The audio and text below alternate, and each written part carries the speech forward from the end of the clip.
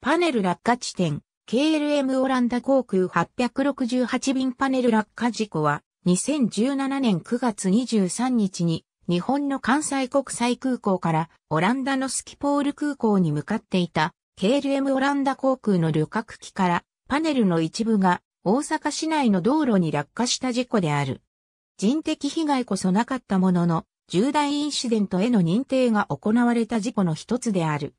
2017年9月23日午前10時40分頃、乗員、乗客321人を乗せた KLM オランダ航空868便はアムステルダムに向けて関西国際空港を離陸した。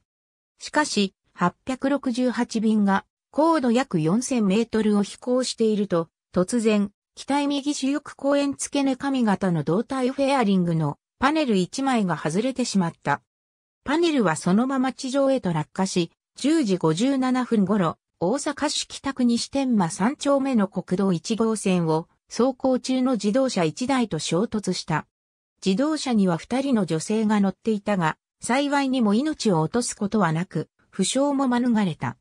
しかし、巨大な金属パネルの直撃を受けた自動車は、窓ガラスが割れ、屋根も大きく凹んでしまった。868便は部品こそ失ったものの、飛行の継続に支障をきたすほどのトラブルではなかったため、日本時間の同日21時38分に、無事にスキポール空港に到着した。事故において、パネルが落下した原因は、誤ったボルトを使用していたことによる強度低下で金属部分が破損したことにあると考えられている。調査によると、落下したパネルの番号は 198AR で、当該パネルと胴体との間に挟み込んで、パネルを固定していた、およそ12センチメートル四方のブラケットが破損していたという。該当のブラケット部分を除けば、パネルを固定するボルトとスクリューは機体に取り付けられたままであった。しかしながら、使用されていたボルトの一部は、グリップやスレッドの長さ、頭の直径などが本来使用すべきボルトと異なっていたことが判明。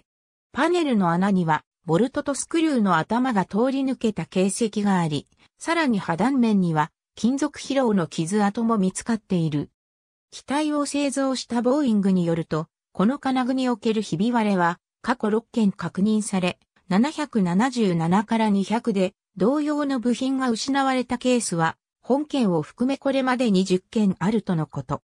本件においては、奇跡的に死傷者は出なかったが、大阪市内という人口が密集する大都市に、巨大な航空機のパネルが落下するという、危うく大事故になる一歩手前のトラブルであったため、国土交通省の運輸安全委員会は、この事故を重大インシデントに認定した。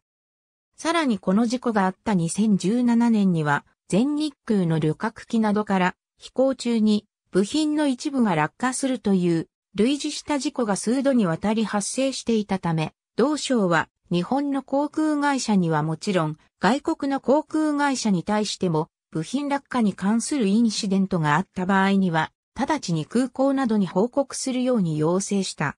同委員会により、この事故の詳細を記載した報告書がまとめられている。ありがとうございます。